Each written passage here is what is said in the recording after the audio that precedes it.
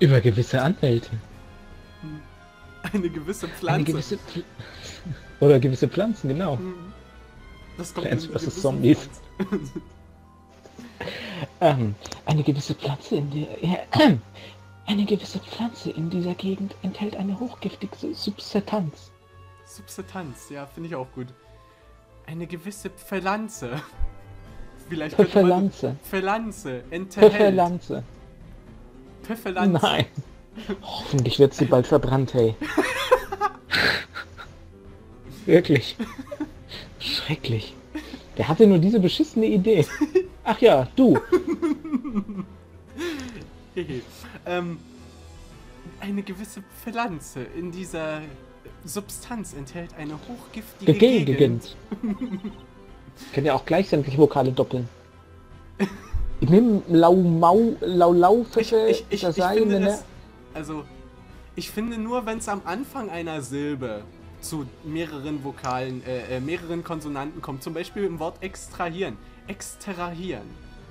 extrahieren.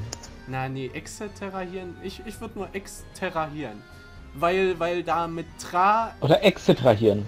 hm, nee. Ich meine, extrahieren ist, da macht man was, da führt man was aus, eine Ausführung, eine Exe. ähm, Ah, nee, Moment, du musst eine Ex Exe extrahieren. Aus einer ZIP-Datei. gut, dass ich keine Angst vor Euklidien habe. Was? Achso. Oh Mann. Im Laufe seiner Forschung fand Herr de Victoire einen Weg, dieses Gift zu extrahieren. Was vernehmen die Uhren des Gerüchts? Gibt es im Labyrinth ja wirklich eine solch gefährliche Pflanze?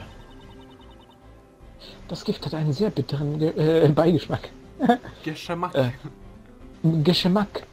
Man kann es also unmöglich unbemerkt einem Gericht oder Getränk Getränk. beimischen.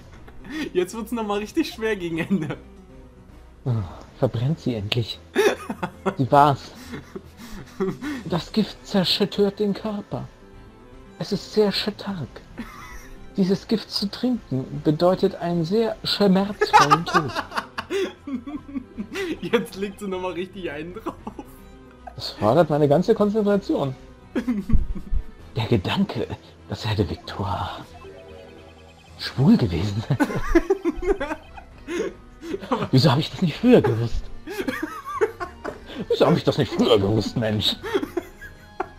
Jetzt fragen sich das alle. Warum wusste ich das denn nicht früher? Mein eigener Nachbar und ich hatte ja keine Ahnung. Dann sagt der Richter, Edward? Sie auch? Ah nee, es ist ja gar nicht Edward. Was Ja, Flamberg. Ja, der ist auch. Ach übrigens, ich spiele ja, habe ich schon erzählt, ich spiele momentan ein bisschen Dark Souls und äh, da gibt es eine Waffe, die heißt Flamberge. Das gibt's aber häufiger. Ah, gibt's die auch in anderen So ist, glaube ich, auch die Standardwaffe von Cervantes bei Soul Calibur. Na, wenigstens hast du jetzt nicht Glaub mit ich. Final Fantasy angefangen. Ja, da gibt's auch. Ah! Bestimmt, also Manche- jetzt manche konkret Leute, weiß ich nicht, meine- aber mit Sicherheit. Manche Leute, die meine Streams gesehen haben, wissen, warum ich da jetzt so empfindlich drauf reagiere. Wieso? Ist mal ein Thema gewesen, das ich nicht haben wollte. Weil ich, damit, weil ich Okay. mich damit überhaupt nicht auskenne. Nee, das gibt's doch in ganz vielen Festen. Oh, qualvoll wäre auch ein schönes Wort für, für Gene Erlington. Qualvoll. Qual. Qual. Qual. K-Wal. Qual. Der K-Wal. Ein Aal voller Tod. Stell dir mal einen Aal vollen Tod an.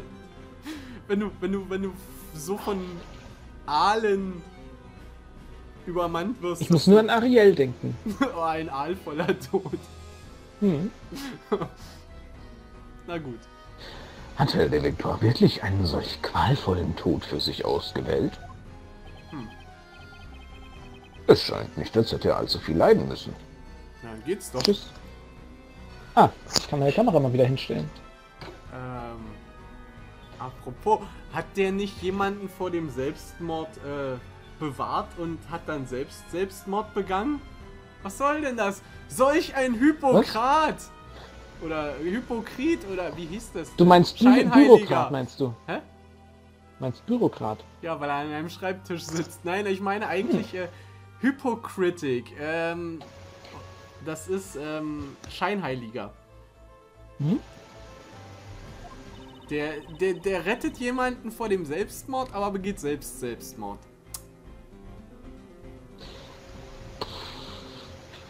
Habe ich auch, schon gemacht, wollte ich jetzt sagen.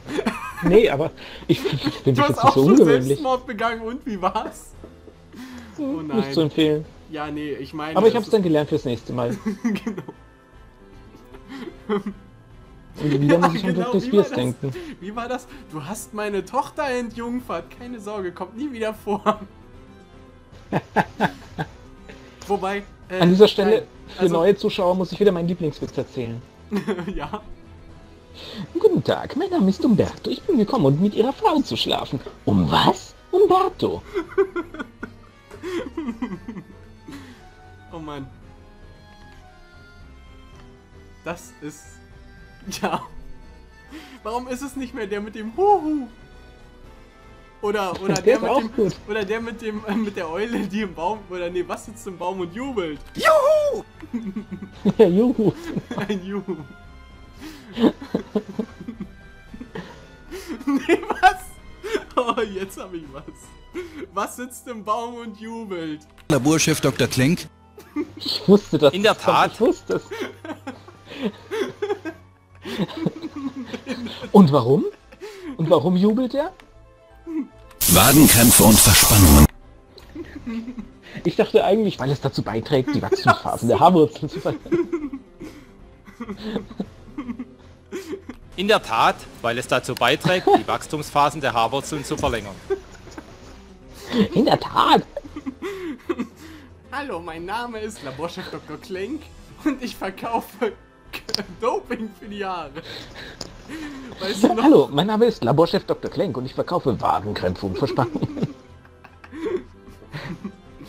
Ach ja, äh, für alle, die es noch nicht gesehen haben, schaut euch bitte den Layton, äh, nee, den Ace Attorney Anime, den ich auf Deutsch synchronisiert habe, an.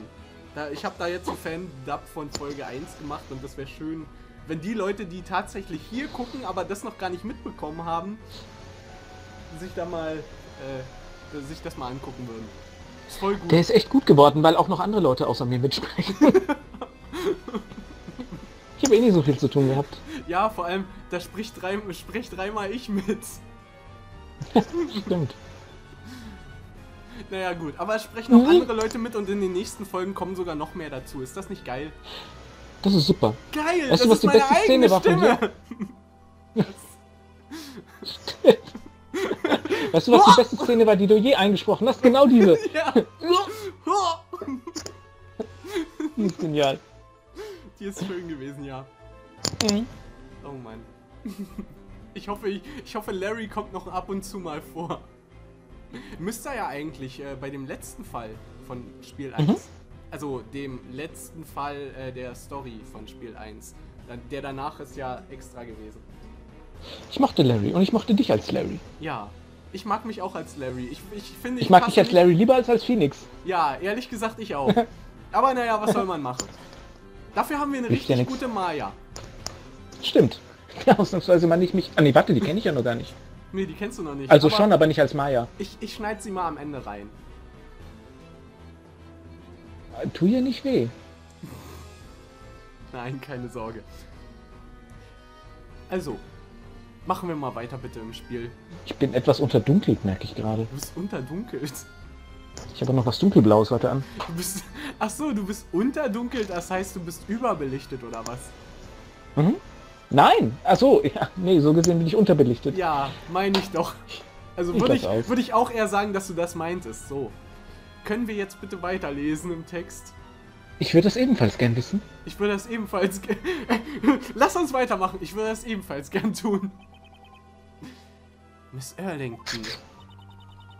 Ich kann ja mal wieder Phoenix Stimme ein bisschen probieren. Vielleicht kriege Ja, krieg probier ich mal. die irgendwann, vielleicht kriege ich die irgendwann rein, aber also ich mache das jetzt während wir spielen, dass ich versuche so eine Phoenix, so eine typische Phoenix Stimme. Das setzt voraus, dass wir spielen. Ja. Also los. Achso, ich bin ja eh dran. Hab nichts gesagt. Wollt ihr sagen, dass mein Meister sich getötet hat, nachdem er mich als Hexe beschattul äh, Beschuldigte. beschuldigte? Beschatuldigte? Kennst du eigentlich schon, das, das muss ich jetzt auch noch sagen, Hashtag put butts, äh, äh, äh, oder hier, äh, put butts in a video game title. nee. Da gibt's so eine Sachen ja wie äh, Assassin's Creed muss man eigentlich gar nicht großartig ändern. Assassin's Creed. Nee, aber sowas wie sowas wie Battlefront oder sowas. Oder Battalion Wars. Oder Badonkey Kong. Oder wie wär's mit Phoenix Wright Ass Attorney?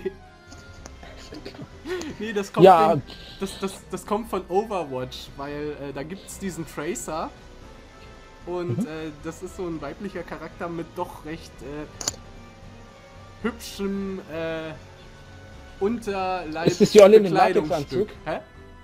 Ist es die Olle in dem Latexanzug? Ja, irgendwie, die, die, auf jeden Fall, da sieht man gut hintern. Ja, dann meine ich die wahrscheinlich. Mhm. Genau, genau. Habe ich denn das gesehen? Weiß nicht mehr. Oder Asylvania. Ah. Was? Asylvania. Wenn Also man, S Attorney finde ich eigentlich gut. Ich meine, Edgeworth muss man gar nicht verändern, der kann so bleiben. In mehrerlei Hinsicht. ja.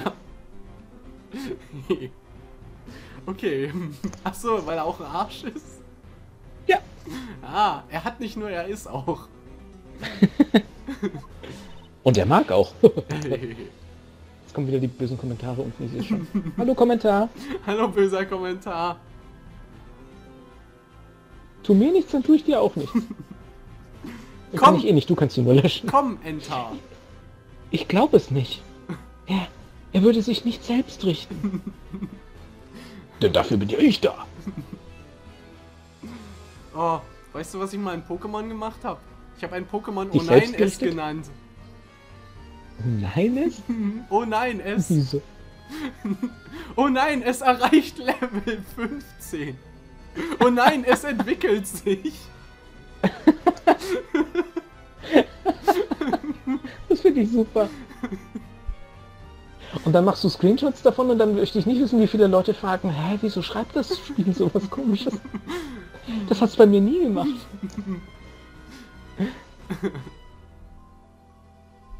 Ich, man könnte sich ja auch mal Alter nennen. Dann kommen alle so rüber, als ob sie so, weiß ich nicht, ein, äh, als ob sie alle so ein bisschen lässig wären. Willst du, wollen wir vielleicht zusammen was machen, Alter? Hier kriegst du dein neues Pokémon, Alter. Alter, was hast du nur getan? Okay, weiter hier, ne? Ich habe meinen Simsalama Uri Geller genannt. Das habe ich mir aber mal abgeguckt, das habe ich mal irgendwo gelesen, das fand ich lustig. Hallo. Okay, weiter. Ja, den hatte ich schon. Achso, den hattest du. Er darf sich nicht selbst richten? Also ich weiß, Beschuldigte war noch. Der, der darauf endete. Aber da hab ich's. Ach egal. Und korrekt, wir können eine solch wilde Theorie nicht für bare Münze nehmen. Aber wir nehmen Schecks.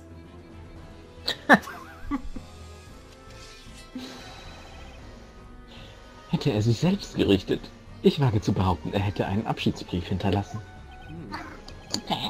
Ich kann nicht sagen, warum Herrn de Victoire sich selbst getötet hat.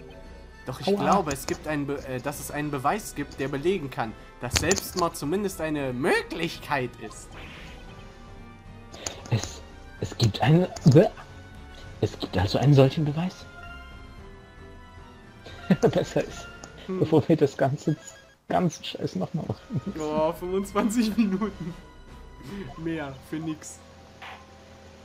Ja gut, geklickt ist das in zwei Sekunden wahrscheinlich. Oh, Wenn ihr im Besitz dieses Beweises seid, solltet ihr ihn unverzüglich den Bericht, Äh, Bericht präsentieren. mhm. präsentiert den Beweis, der darauf hindeutet, dass er der Victoires Tod Selbstmord gewesen sein kann.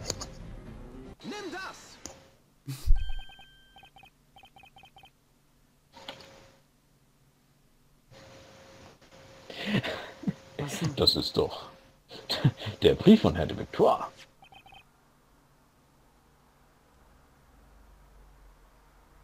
Hm, er war an den Schöpfer adressiert, nicht wahr? Dies ist der letzte Brief, den Herrn de Victoire geschrieben hat. Sollte sein Tod Selbstmord sein, dann ist es gut möglich, dass dieser Brief sein Abschiedsbrief ist.